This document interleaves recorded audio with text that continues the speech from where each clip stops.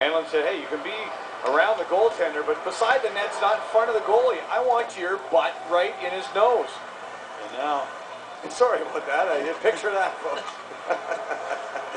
Ovechkin to Pody at the point. Back to Ovechkin near side. nice look. Nice choice of words. Ovechkin with a shot at block. Pody fires. That's blocked by Staal.